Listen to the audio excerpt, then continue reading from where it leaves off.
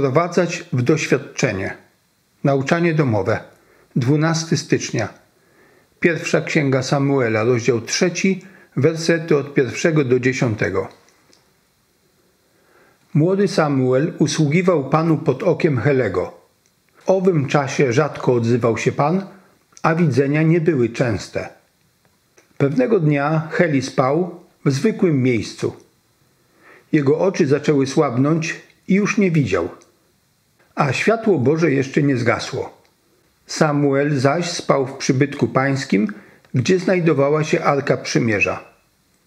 Wtedy Pan zawołał Samuela, a ten odpowiedział: Oto jestem. Potem pobiegł do Helego, mówiąc mu: Oto jestem, przecież mnie wołałeś. Heli odrzekł: Nie wołałem cię, wróć i połóż się spać. Położył się zatem spać. Lecz Pan powtórzył wołanie: Samuelu. Wstał Samuel i poszedł do Helego, mówiąc: Oto jestem, przecież mnie wołałeś. Odrzekł mu: Nie wołałem cię, synu mój. Wróć i połóż się spać. Samuel bowiem jeszcze nie znał Pana, a słowo Pańskie nie było mu jeszcze objawione. I znów Pan powtórzył po raz trzeci swoje wołanie: Samuelu. Wstał więc i poszedł do Helego, mówiąc: Oto jestem, przecież mnie wołałeś. Heli zrozumiał, że to Pan woła chłopca. Rzekł więc Heli do Samuela: Idź spać. Gdyby jednak ktoś cię wołał, odpowiedz: Mów, panie, bo sługa twój słucha.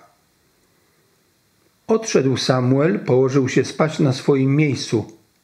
Przybył Pan i stanąwszy zawołał jak poprzednim razem: Samuelu, Samuelu. Samuel odpowiedział: Mów, bo sługa twój słucha. Samuel dorastał, a Pan był z nim. Nie pozwolił upaść żadnemu jego słowu na ziemię. Cały Izrael, od Dan aż do Berszeby, poznał, że Samuel zyskał potwierdzenie jako prorok pański. W tym fragmencie widzimy relację ze swego rodzaju przekazania pałeczki. Starsze pokolenie i młodsze, Heli i Samuel. Starsze pokolenie dzieli się doświadczeniem z tym, które wchodzi w służbę Bożą. Ono wprowadza następne pokolenie w to doświadczenie, które jest potrzebne każdemu. Widzimy Samuela, który usługuje pod okiem Helego. Pewnie wykonywał jakieś proste czynności, coś co należało do zwykłego rytuału związanego z posługą w przybytku pańskim. Natomiast Heli zaczyna dostrzegać pierwsze poruszenia. Z Samuelem dzieje się coś, czego on sam, chłopak, jeszcze tego nie rozumie. I widać, że Heli daje proste wskazówki, jak się zachować, jak zareagować, jak słuchać Boga. I konsekwencją jest to, że Samuel słucha, postępuje zgodnie z zaleceniami tego starszego pokolenia i staje się prorokiem potwierdzonym w narodzie. W tym wydarzeniu są trzy osoby. Po pierwsze, inicjatywę ma Bóg. Słyszymy, że jest to czas, kiedy widzenia nie były częste, kiedy Pan odzywa się rzadko, ale to nie jest czas absolutnego milczenia Boga. Są okresy intensywniejsze i mniej intensywne. To też trzeba przyjąć, że tak jest, że to Bóg wybiera czas, ale ciągle przemawia. Po drugie, Tą drugą osobą jest Heli.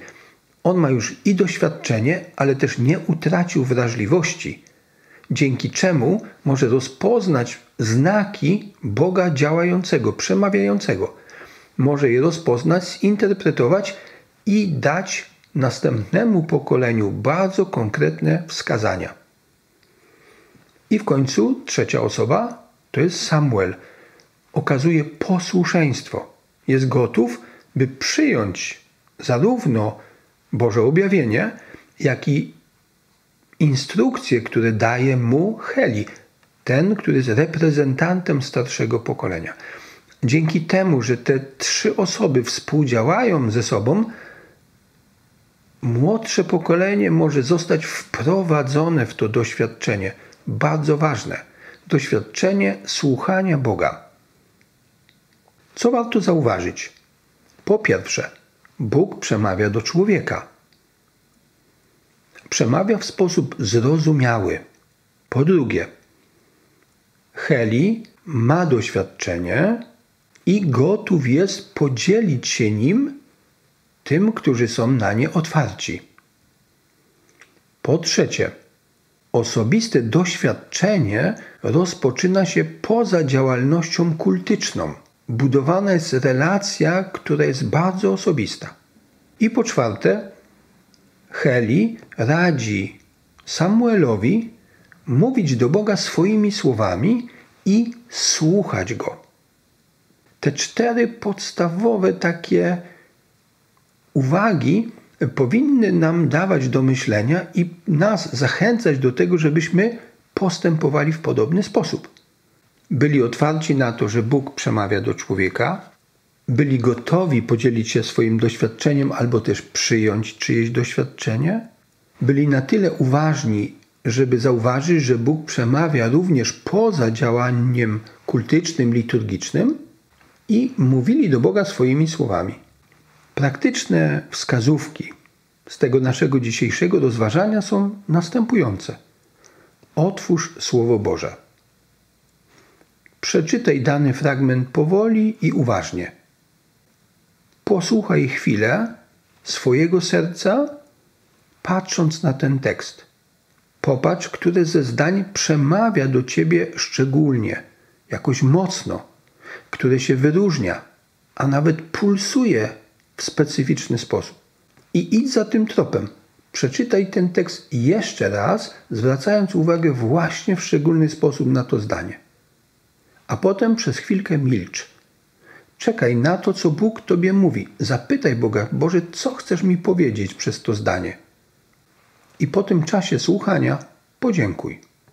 Pozwól wprowadzać się w doświadczenie.